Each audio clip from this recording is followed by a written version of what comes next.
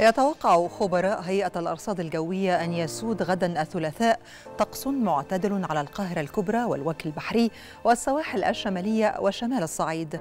مائل للحرارة على جنوب سيناء وجنوب الصعيد. أما ليلا فيسود طقس مائل للبرودة على كافة الأنحاء.